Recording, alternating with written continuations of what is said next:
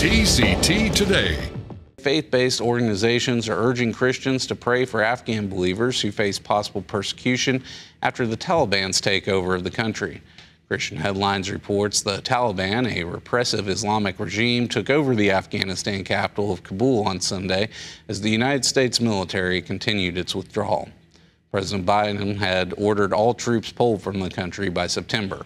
Is unknown how many Christians actually live in Afghanistan, although some estimates put the number between 10 and 12,000, according to International Christian Concern, which monitors persecution around the world. Most of them are converts from Islam, a faith that makes them targets for persecution by the Taliban. Under Taliban ideology, the punishment for conversion to Christianity is death. We encourage you to pray that Christians would not be overcome by fear, ICC said.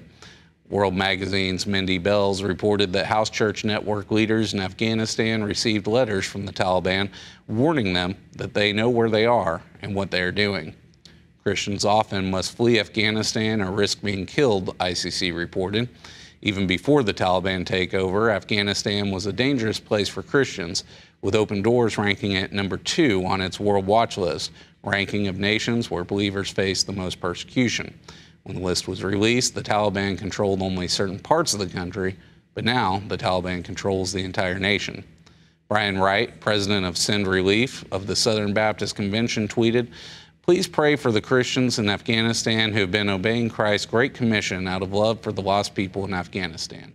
Hey everyone, hope you enjoyed the video. To see more like this, be sure to hit the subscribe button below. Get all the latest content from TCT Ministries. We'd love to pray alongside you for God's blessings in your life, so you can email your prayer requests to prayer at tct.tv or click the link below and submit your request at tct.tv.